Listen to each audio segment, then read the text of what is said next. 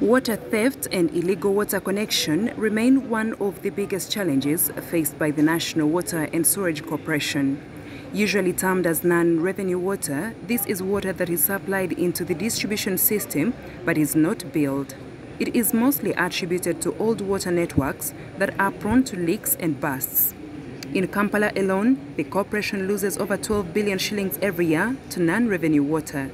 Dr. Silver Mugisha, the National Water and Sewerage Corporation Managing Director, calls for joint efforts to fight this vice. Especially national water, for being a signpost of trust and a signpost of hard work,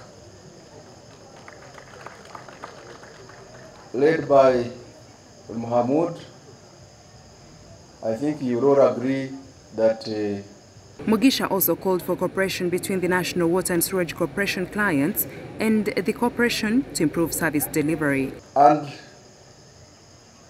more importantly, I think this period should really teach us when the, the, the, the Muslim preacher was here, he emphasized the spirit of love and also the spirit of hard work among others.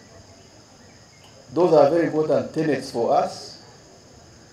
I hope that this period will tell us, will teach us that we need to work together kubanga agari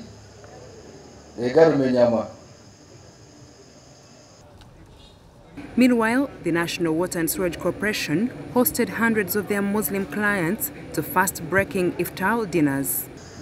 I want to thank our leaders, uh, the Mufti and his management team, who never shy away from invitations uh, when National Water holds its day during the month of Ramadan. I want to thank you all, uh, Muslim brethren, for observing this holy month of Ramadan. It's a a special tribute, it's a special pillar, pillar among the five pillars we have uh, in our religion. Many of them also received awards from the National Water and Sewerage Corporation, appreciating them for their continued cooperation with the national water. Report by Rachel Nachwala, All the News.